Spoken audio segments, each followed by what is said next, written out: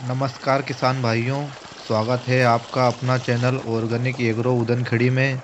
दोस्तों, आज इस वीडियो के माध्यम से हम आपको बताएँगे लहसुन का उत्पादन कैसे बढ़ाएँ और लहसुन की कंद की साइज़ कैसे बढ़ाएँ और कौन कौन सा खाद डालें, कितना वेसल डोज डालें और फ़सल की कौन सी अवस्था में खाद का डोज डालें और कौन सा स्प्रे कौन से समय में करें तो बने रहें। अपने वीडियो पर और चैनल पर नए हों तो चैनल को सब्सक्राइब करें, क्योंकि फ़सल की अधिक उत्पादन लेने के लिए हम आपको टेक्निकली खेती के बारे में सबसे पहले बताएँगे। तो दोस्तों, शुरू करते हैं। शुरुआती समय में बेसल डोज के बारे में हम सबसे पहले खेत की तैयारी करते समय एक एकड़ में दो ट्रायली गोबर का खाद और चार बोरी एसएसपी सिंगल सुपर खाद को भुरकाव करवा कर रोटर वेटर करवा दें। दोस्तों, गोबर का खाद जितना हो सके उतना अवश्य डालें।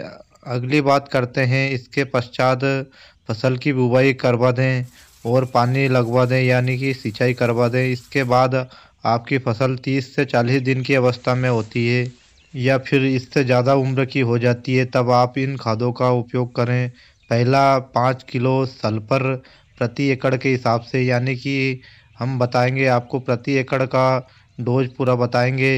पाँच किलो सल्फ़र प्रति एकड़ प्लस जिंक, पाँच किलो प्रति एकड़ और पाँच किलो माइक्रोराइजा और दो किलो बोरान और पाँच किलो फेरट सल्फेट और एक किलो मैग्नीशियम और कोई सी अच्छी कंपनी का कीटनाशक, वो भी दानेदार फार्म में। इन सभी खादों को समुद्री सेवाल खाद या फिर दस किलो सागरिका के साथ और पंद्रह किलो यूरिया प्लस में एक बोरी डीएपी खाद के साथ अच्छी तरह मिलाकर भुरकाव करवा दें। इससे आपकी फ़सल का उत्पादन और कंद की साइज़ की क्वालिटी बहुत ही शानदार आपको देखने को मिलेगी। दोस्तों, आशा करता हूँ वीडियो अच्छा लगा होगा। वीडियो को लाइक कर दें और चैनल को सब्सक्राइब कर दें।